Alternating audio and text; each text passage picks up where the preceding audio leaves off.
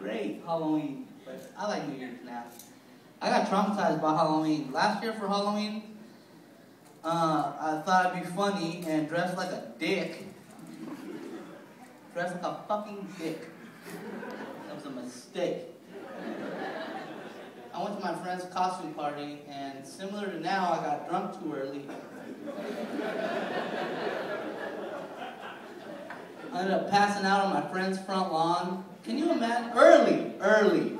7.30, I was done. Can you imagine going to a costume party, seeing a dick laid out on the front lawn, man? My friends didn't even help me. They just acted like they were jacking me off. Hey, bro, you alright, man? Oh, a little too much to drink, huh? Joe, get the camera! Oh, I'm putting this shit on YouTube, bro. Oh, this is too good, dude. I started throwing up. He's busting a nut! He's busting a nut!